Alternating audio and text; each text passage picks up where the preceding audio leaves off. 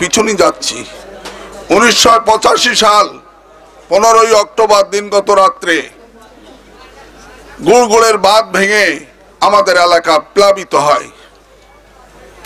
এই সময় জনাব সম সালাউদ্দিন সাহেব উপজেলা চেয়ারম্যান থাকে উনিশশো পঁচাশি সালের সতেরোই মে।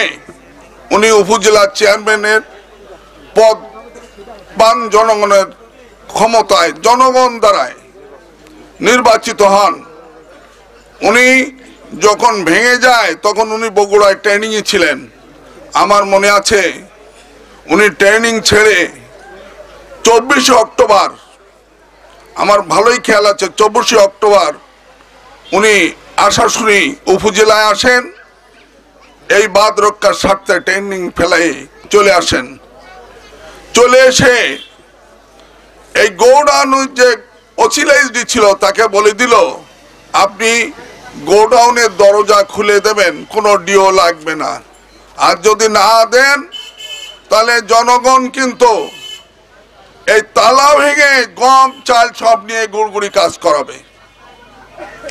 এখানে যারা আছেন, আমি অনেকের মুখ দেখতে পাচ্ছি, সেই উনিশশো পঁচাশি সালে ওখানে কাজ করেছিলেন বাদ রক্ষার স্বার্থে।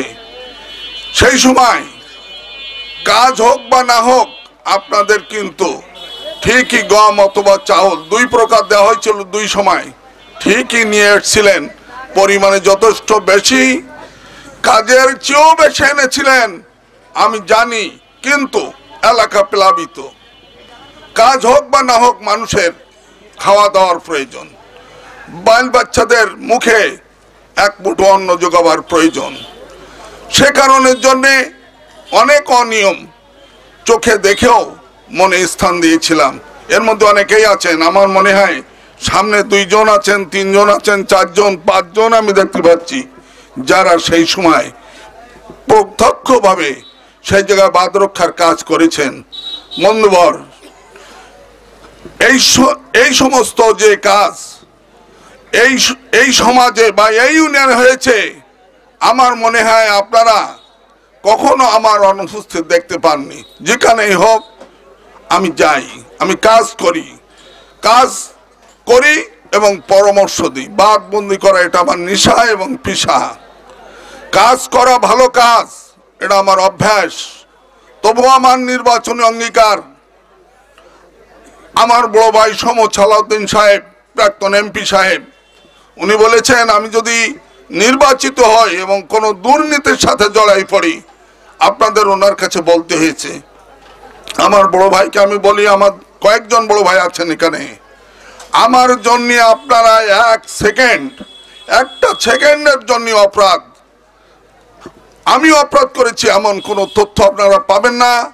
আর যদি পেয়ে থাকেন, যদি কেউ বলতে পারে এবং তার প্রমাণ থাকে, আপনার পায়ের জুতো দিয়ে আমার যে জায়গায় খুশি সেই জায়গায় পিঠে আমাকে শাসন করবেন, এই অধিকার আপনাদের আছে। প্রাণ প্রিয় ভাই সব, আমি মাসে আঠাশ থেকে উনত্রিশ দিন পাই তুলে দিন কাটাই। আমি, আমার সকাল হয়, আমি কখনো কখনো এই জায়গায় আসি। আমার বেড়ের পাশে ছিল দেবী রঞ্জন বাবু, উনি মারা গেছেন, অত্যন্ত ভালো লোক ছিলেন। আমি কখনো কখনো পাই বুধাড়ার থেকে এসে তার ঘুম ভাঙাইছি এলাকার অনেকেরও ঘুম ভাঙাই আমি। আমি অনেক ভোরে হাঁটি, অনেক দূর পর্যন্ত ইনশাল্লাহ। কাজের জন্য আমি যে কোনো জায়গায়, যে কোনো মুহূর্তে যেতে পারি, যদি সেটা জনস্বার্থে হয়। প্রাণ প্রিয় ভাই, বোনেরা, এই এলাকার, আমি বেশি কিছু বলতে চাই না। আমি যখন নির্বাচিত প্রথম নির্বাচিত হই, চেয়ারম্যান হিসাবে, এর আগে আমি একবার মেম্বার পদপ্রার্থী হয়ে মেম্বার হয়েছিলাম ইউনিয়ন পরিষদে। তো এখানে যারা বারুই সম্প্রদায়ের লোক আছে, একটু বয়স, আমার সমান, আমার একটু বড় অথবা আমার একটু ছোট। প্রত্যেকে জানেন, ওনারা আমার সেই নির্বাচনে যে শ্রম দিয়েছিলেন, তার তুলনা নেই।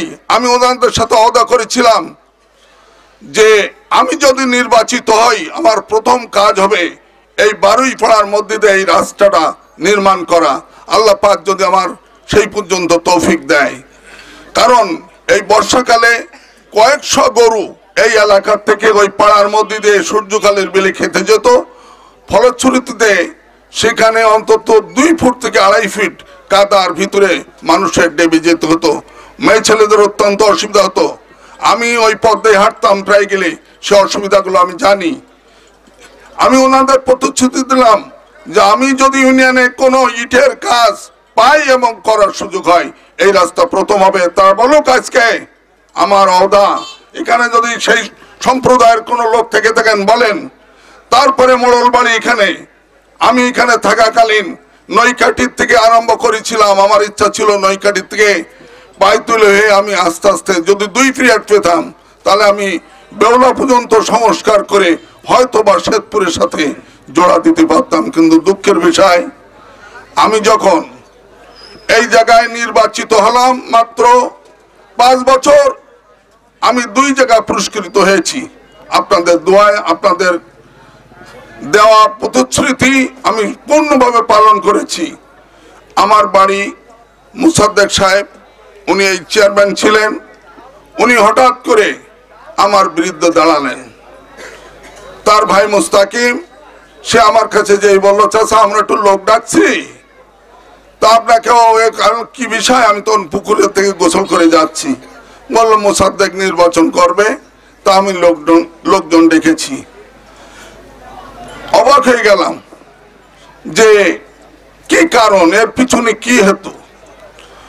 উনি মুসাদ্দেকের নির্বাচনে দাঁড় করায় প্রথম মিটিং করলেন বাউসুলি প্রাইমারি স্কুলের সামনে।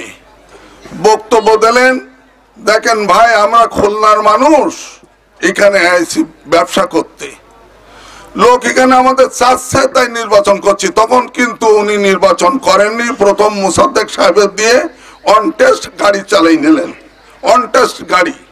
দেখেন না, ওই যে গাড়ি কিনে আনলে অন টেস্ট লিখে দেয়। তো যা হোক, উনি অনটেস্ট করলেন। পরবর্তীতে ভৌতিক কায়দায়, বিভিন্ন কায়দায় ব্যালেট কেটে কুটে সুন্দর করে এবারও সেই কামটা হয়েছে। বন্ধুবর ওই সব চিন্তা ভাবনা ছেড়ে দেন। ও সুযোগ আর হবে না এই মাটিতে, ইনশাল্লাহ। অনেক করেছেন, অনেক দেখেছি, কিন্তু আর দেখতে চাই না।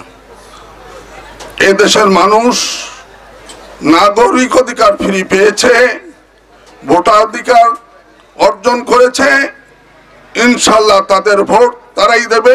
এখানে কাটাকুটির আর কোনো ব্যবস্থা নাই। ইনশাল্লাহ নিরপেক্ষ ভোট হবে। আশা করি আপনারা যারা এখানে আছেন, আমার সমর্থন দিবেন, নিজের সমর্থন দেবেন, অপরদের সুন্দর করে বোঝায় আমার পতাকা তলে এনে আগামী পাঁচই জানুয়ারি দু হাজার বাইশ সাল আমাকে ভোট দিয়ে জয়যুক্ত করে এই এলাকার, বিশেষ করে যেখানে দাঁড়াই কথা বলছি, এই এলাকার উন্নয়নের প্রথম ছাপ দেব ইনশাল্লাহ আমি। ধন্যবাদ।